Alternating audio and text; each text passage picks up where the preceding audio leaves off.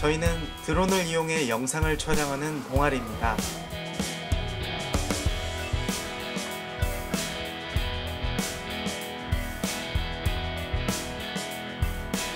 맑은 하늘에 띄우는 드론으로 촬영한 영상은 모두의 눈을 사로잡습니다.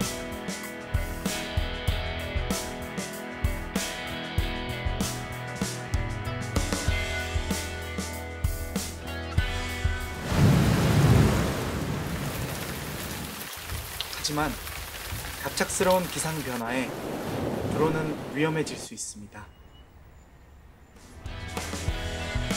그래서 저희는 기상청 홈페이지를 활용합니다. 촬영을 나가기 전 기상청의 날씨 정보를 통해 기상 변화를 예측할 수 있습니다.